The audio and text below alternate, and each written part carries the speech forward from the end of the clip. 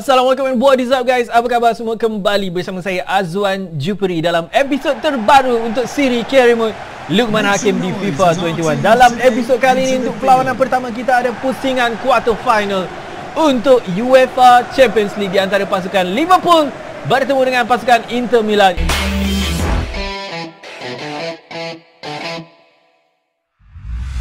Ini adalah kali pertama dalam sejarah enam musim Care Remote Lukman Hakim kita akan bertemu dengan Inter Milan. What an episode. Jadi, untuk episod kali ini kita dapat saksikan sendiri ini adalah uh, kesemua 8 pasukan yang berjaya melayakkan diri ke pusingan quarter final. Liverpool adalah salah sebuah pasukan yang berjaya melayakkan diri mereka. Jadi, untuk musim kali ini kita telah menyaksikan Calvert-Lewin telah berpindah ke Inter Milan pada pertengahan musim yang lalu yang mana sebenarnya di sebelum pertengahan musim Calvert-Lewin adalah salah seorang pemain pasukan Liverpool. Jadi sebab itulah setiap kali bila kita tengok Lukman Hakim dikeluarkan awal, yang menggantikan Lukman Hakim tu bukan Calvert-Lewin lagi. Biasanya Calvert-Lewin yang ganti.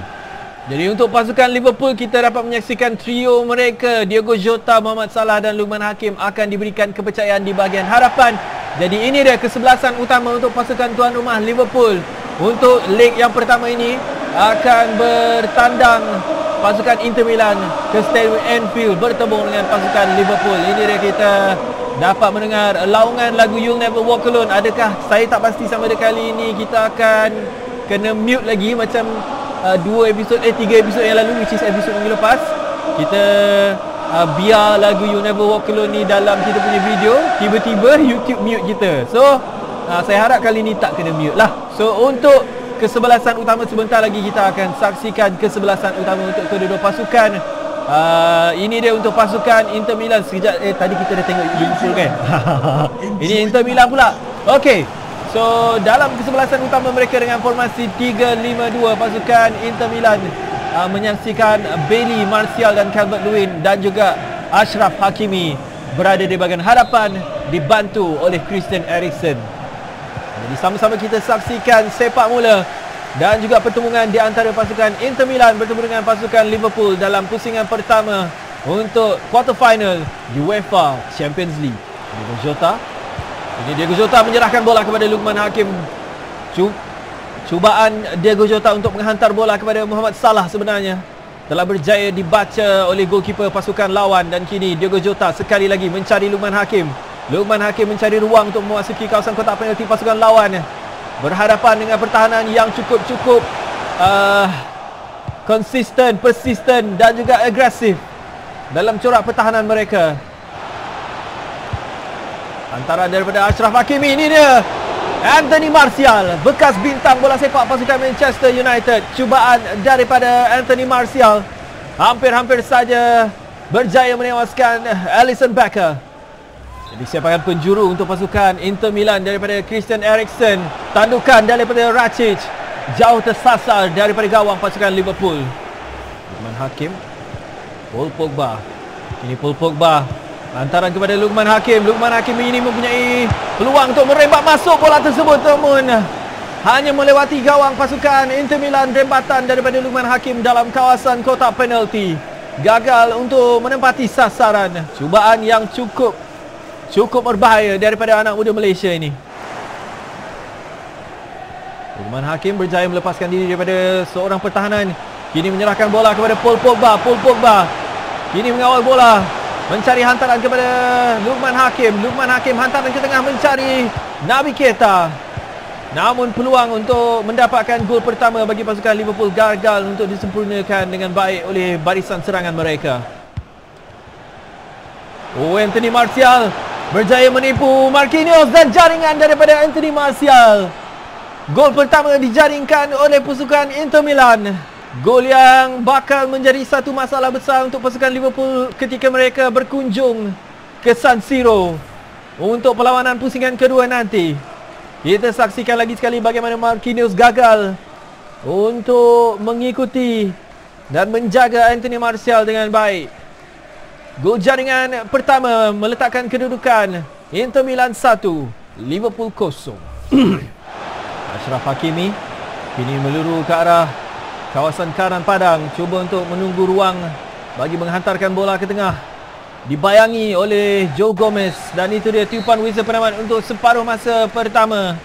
Kedudukan 1-0 untuk pasukan Inter Milan hasil daripada kesilapan Marquinhos membukakan ruang kepada Anthony Martial untuk menjaringkan gol pertama. Jadi kedudukan 1-0 ini kita akan sambung ke separuh masa yang kedua.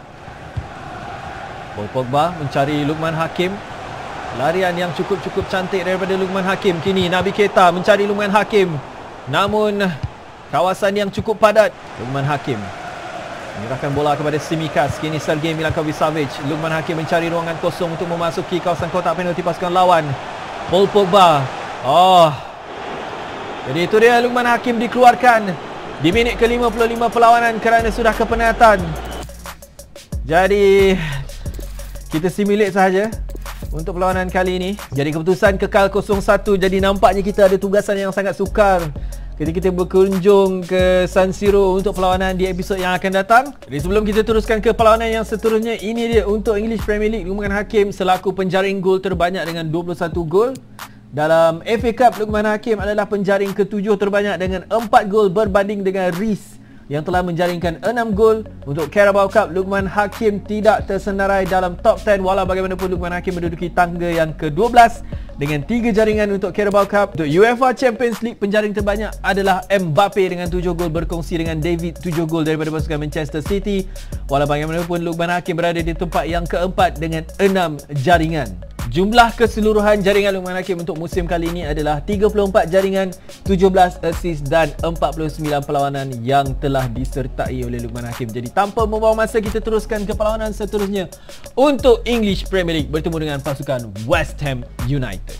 Dari pertemuan bertemu dengan pasukan West Ham, kali ini kita menyaksikan Liverpool beraksi di Anfield di hadapan penyokong mereka sendiri dengan uh, formasi 4-3-3 sekali lagi sebenarnya. Sama seperti perlawanan bertemu dengan Inter Milan. Sebentar tadi kita juga beraksi di Anfield. Namun kali ini adalah untuk English Premier League. Phil Foden akan beraksi dalam kalangan kesebelasan utama dan untuk pasukan West Ham, goalkeeper Jordan Pickford nampaknya untuk pasukan West Ham dibarisi oleh uh, bekas pemain pasukan Liverpool sendiri dan juga uh, adalah kapten pasukan West Ham dalam perlawanan kali ini iaitu Sebastian Coates dan kita dapat menyaksikan Fikoyo Tomori juga adalah salah seorang daripada barisan pertahanan pasukan West Ham. Jadi sama-sama kita saksikan pertemuan di antara pasukan West Ham bertemu dengan Liverpool dalam English Premier League untuk merebut tempat pertama dan mengekalkan advantage mereka di tempat pertama untuk pasukan Liverpool. Ini hantaran kepada Diego Jota. Lukman Hakim menantikan hantaran di tengah padang. Di tengah kawasan kotak penalti sebenarnya namun gagal untuk menjumpai hantaran tersebut. Kini Muhammad Salah memasuki kawasan kotak penalti mencuba. Lukman Hakim berpeluang untuk menanduk masuk bola tersebut namun tandukannya sangat-sangat jauh tersasar. Apakah sebenarnya terjadi kepada Lukman Hakim hilang kawalan dalam kawasan kotak penalti? Satu free header peluang keemasan untuk menjaringkan gol secara mudah telah disia-siakan oleh anak muda Malaysia ini. Sergei Milakovic Mencari Lukman Hakim Hantarannya tepat ke arah Lukman Hakim. Lukman Hakim kini hanya perlu mencuba dalam kawasan kotak penalti Rembatannya berjaya dihentikan oleh pertahanan pasukan West Ham United. Namun ancaman daripada Lukman Hakim dan juga pasukan Liverpool belum berakhir. Percubaan ketiga daripada Lukman Hakim dalam uh, perlawanan kali ini Berjaya dinafikan oleh Jordan Pickford. Kita saksikan lagi sekali rembatan daripada luar kotak penalti. Cukup berbahaya tepat ke arah sasaran. Lukman Hakim Kini mencari ruangan kosong untuk melepaskan diri namun pertahanan pasukan West Ham cukup cukup kebal dalam kawasan mereka sendiri. Kini Lukman Hakim berjaya memasuki kawasan kotak penalti menyerahkan bola kepada Diego Jota. Percubaan daripada Diego Jota. Sekali lagi Jordan Pickford cemerlang di hadapan gawang mereka. Goalkeeper England ini nampaknya cukup yakin dengan menepis dan menafikan setiap percubaan daripada pasukan Liverpool. Jadi adakah sepakan penjuru ini akan berakhir sebagai gol untuk pasukan Liverpool. Kini Lukman Hakim mencuba daripada kawasan luar kotak penalti. Rebatan jauh tersasar daripada sasaran. Kita saksikan lagi sekali bagaimana Lukman Hakim berjaya meledakkan rebatan walaupun diberikan tekanan oleh Ross Buckley. Namun walau bagaimanapun cubaannya gagal untuk menepati sasaran.